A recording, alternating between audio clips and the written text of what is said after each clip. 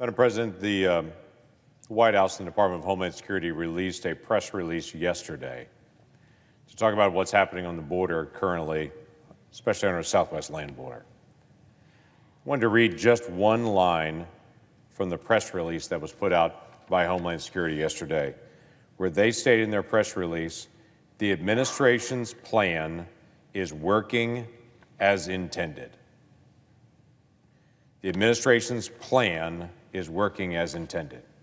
Now, what they were referencing was what's happening on the southwest border and the number of people that are crossing our border that are, quote unquote, being encountered at the border. That's the new term from Homeland Security and the number of people that cross our border illegally. They're encountered.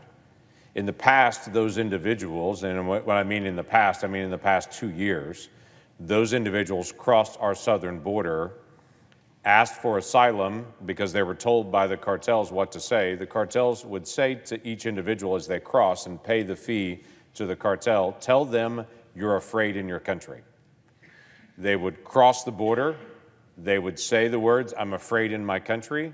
They would be given an asylum hearing date in the future. That date is anywhere, depending on where they go in the country, between three years and seven years in the future.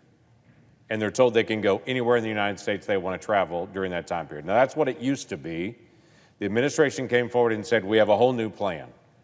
Our new plan, post Title 42, that is the end of the pandemic restrictions, our new plan is that we're going to tell people there's a rebuttable presumption that you don't qualify, so don't come. So here's what's happened. Now you cross the border, and there's two ways you can cross the border now. This is the new plan. You can either fill out the paperwork before you come, or when you cross, we'll fill out the paperwork for you. If we fill out the paperwork for you, it will take longer for you to come into the country and cross the border, or you can fill out the paperwork before. What is that called? It's called CBP One. It's an app that now you can download from anywhere in the world. Fill out your paperwork ahead of time, and when you cross, they'll quickly expedite you into the country for your asylum hearing anywhere between three and seven years in the future. Or if you cross between ports of entry, then it's going to take you probably another eight hours or so for them to get all the paperwork filled out for you, and then you'll still be released into the country and have a hearing three to seven years in the future. What does the administration mean when they said the administration's plan is working as intended? They've now split up the numbers and they've announced look, our numbers are less than 4,000 people now that are crossing the border illegally. It was just 10,000 people two weeks ago. Of course, they did what they didn't say was the week before that, it was right at 5,000. But what they're not saying is they've actually taken, if you fill out on the app ahead of time, they don't count those numbers anymore. Here's what's happening we have the same number of people illegally crossing our border this week than we had three weeks ago, than we had three weeks before that. The administration now has just split up the numbers, how they're counted. If you fill out the app in advance or you, we fill it out for you when you cross the border, those are now two set, separate sets of border, but they're still the same exact people that are crossing into the country. Except when I was at the border just two weeks ago and asked how all of this is working, I asked a very simple question What are you noticing that's different now than what's different before? The response from CBP was, well, it's the same, you know, people are still moving in. They, are allowed to be able to come into the country between ports of entry or at ports of entry. That's the same. But what's changed is a dramatic increase in the number of non Spanish speakers that are coming. And the first words I had from several different individuals that I spoke with, both from non governmental organizations and from our federal law enforcement when I was there last, was we are worried for our national security. In fact, federal law enforcement used the exact term we have military age single adult men coming into our country from non Spanish speaking nations in the Middle East, in West Africa, from Russia, and from China now, in much higher numbers than we had before. Just to set the context of what's happening now, while the administration is saying the plan is working as intended, here's what's happened. In the first two weeks of the end of Title 42, we've had a thousand men from Mauritania, West Africa, come across our border. A thousand. Exactly none of them we have criminal background information on. None of them. So far this year, let me just compare two years ago to this year. So far this year, and this year's not over. If I look at Mauritania, we had 90 people two years ago from Mauritania. So far this year, 4,300 so far this year. And by the way, that doesn't include the main number that I was just saying that's a thousand more. So we're well in excess of 5,000 this year so far from Mauritania. From Iran, it's gone from 62 to almost 300.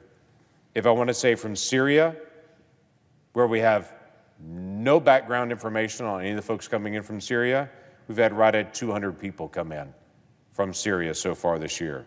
From Pakistan, we've had over 500. From Somalia, we've had over 1,600. From China, we've had right at 10,000 people this year. If I go back two years ago from China, it was 450. Yeah, there's a huge shift that's actually occurring of Middle Eastern men, North African men, men from Russia and from China that are accelerating across our southern border because right now, apparently, the administration's plan is working as intended, and we have thousands of people that are still crossing our border. I've heard even some recent reporting in the news on this that the numbers are way down. Numbers are way down, but apparently the press doesn't take the time to be able to look and see that the numbers have actually been split out into two different categories. The numbers are not down. In fact, the numbers right now would average somewhere around 450,000 a month right now. The highest, the highest month during the peak of the immigration surge under the Obama administration, the highest month that happened during that time period when there was chaos and cameras that were focused on the southwest border, the highest month was 69,000. The administration is now saying our plan is working when there's 150,000 a month coming across the border. It's not working. It's fudging the numbers. It's trying to tell the American people, look away. It's trying to say we're doing a whole new set of enforcement on the border when really what's happening is people are being released into the country the same as they've always been released in the country for the last two years. The difference is they're told, hey, if you show up for your hearing three years from now, we may be more strict to you. But at the border, they're moving through just the same, being waved through. Now, I bring this up to this body to ask a simple question Have we learned nothing from 9 11?